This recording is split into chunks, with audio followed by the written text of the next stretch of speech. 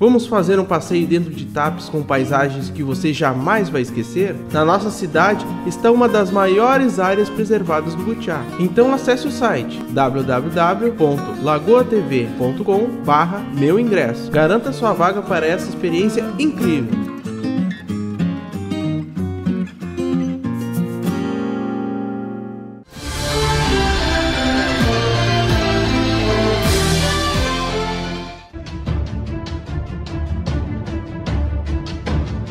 O altíssimo lucro desses bancos é composto de juros da dívida pública, é composto dos juros do crédito dos tomadores, dos clientes, dos juros sobre cheque especial, altíssimos, estratosféricos, e do cartão de crédito, das taxas cobradas dos clientes, qualquer serviço paga taxa, a simples manutenção de uma conta paga taxas, né?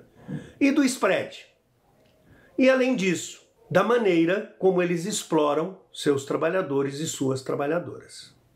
É assim que é composto o lucro dos bancos.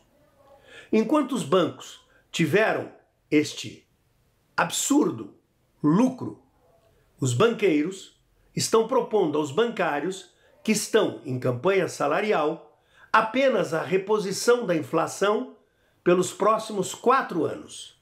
Nada de dividir uma pequena parcela que seja desses lucros astronômicos na forma de aumento real no salário dos bancários.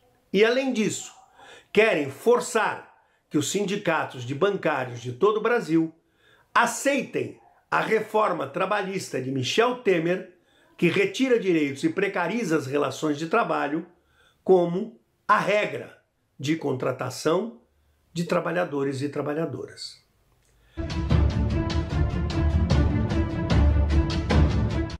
Os manifestantes seguem em tratamento e acompanhamento médico após quase um mês sem comer nada. Alguns perderam 10 quilos e todos têm enfrentado problemas como alteração na glicemia e queda na pressão arterial e corporal. Frei Sérgio, Rafaela Alves, Luiz Gonzaga, Jaime Amorim, Zonália Santos, Vilmar Pacífico e Leonardo Soares, que se juntou ao grupo depois e hoje completa 16 dias de greve de fome, afirmaram que o sacrifício vale a pena e a greve só vai acabar quando Carmen Lúcia colocar as ações declaratórias de constitucionalidade em votação no Supremo Tribunal Federal. Ações que podem levar o ex-presidente Lula à liberdade, mesmo após condenação em segunda instância. A expectativa é de que os sete participem de um ato organizado pela Frente Brasil Popular em frente ao STF, marcado para a tarde desta quarta-feira.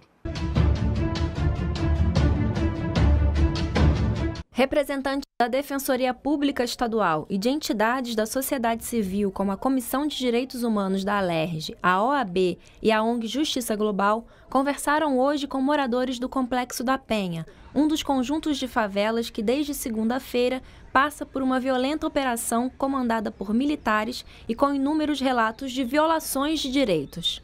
Hoje nós fomos lá na Chatuba, aonde tivemos diversas denúncias das arbitrariedades, da, das torturas que o Exército está cometendo sobre as pessoas que moram naquele local. Morar na favela não significa que a pessoa tem que viver, que a pessoa tenha que passar por isso. É, isso é inaceitável. Qualquer ser humano passar por essas situações. É, anotamos várias denúncias, né? E vamos estar encaminhando essas pessoas para órgãos, né, aonde elas vão estar é, buscando o direito que todo ser humano tem.